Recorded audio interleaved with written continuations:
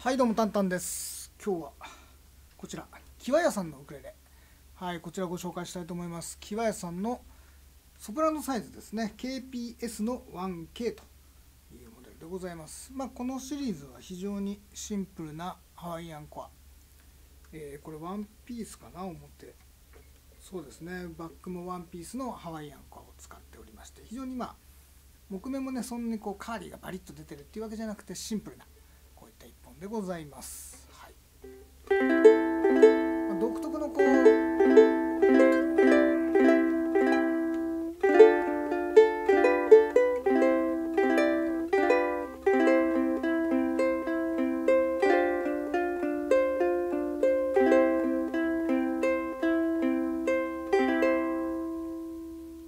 うすごく澄んだクリーンな音っていうのかなクリアなサウンドそういうのが楽しめるシリーズかなと思いますし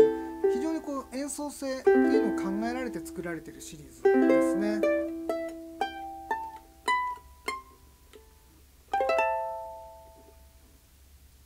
こうフレットも少し大きめの背の高い感じのフレットが打ってあって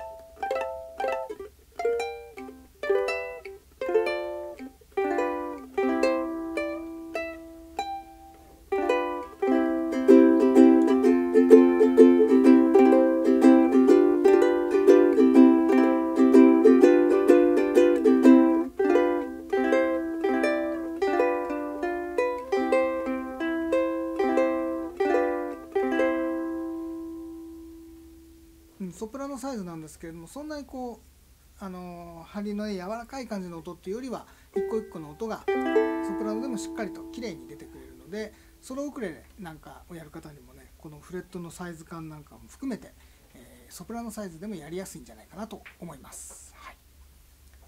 はい、ということでこちら、えー、キワヤさんの、えー、シリーズですね。ソプラノサイズの KPS の 1K ハワイアンコアボディの桜のサイズでございます。かなり綺麗なコンディションですが一応これユーズド品になっておりますね。こ